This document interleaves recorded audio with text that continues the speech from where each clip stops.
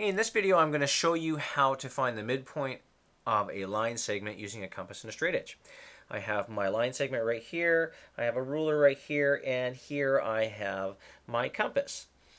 So to begin, what I'm going to do is I'm going to uh, take my compass here, and I am going to take the pointy end right here, and I'm going to stick it right down here on the edge of my line segment. So take that right down there, and that's going to go on the edge of my line segment. Next thing I'm going to do is I'm going to open up my compass so that I feel, so if I bring this down here, for example, I'm going to, I feel that it is past half the distance, past the midpoint. Okay, and I feel that that's past the, that looks to be past halfway, past the midpoint. And all I'm going to do is I'm going to draw an arc.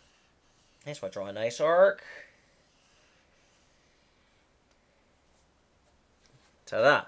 Now, very important, I do not want to reduce or increase the distance between the point and the pen here. I don't want to stretch this any farther out, but I do have to move the compass. I have to move the compass over to the other side here. I'm going to move the compass over. To put the point on the very, uh, the other end point of my line segment. And we're going to flip it around. And once I'm satisfied that that's exactly on the other endpoint, I'm going to draw another arc. I'm going to draw another big, big, big, big, big, big, big arc. And we'll just move the compass off to the side.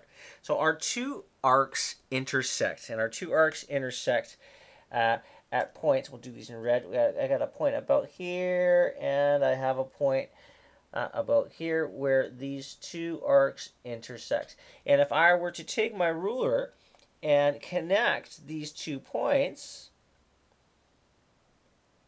Oops, I roll over just a little bit more there. What happens